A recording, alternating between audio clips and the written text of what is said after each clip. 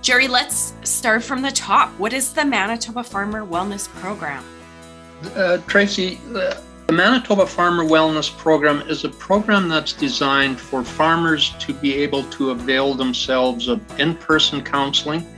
Um, of course, I always prefer in my work, and I know many people, when they seek out professional help, would prefer to do it face to face, and ultimately that would be the goal. But of course, we know agriculture is widespread in Manitoba. Manitoba is a huge province.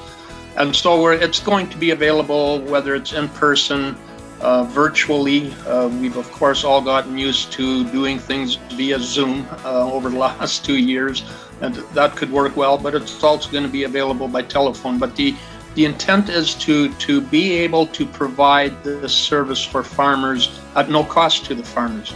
Uh, that's the beauty of this um, because it's something that, that we feel is much needed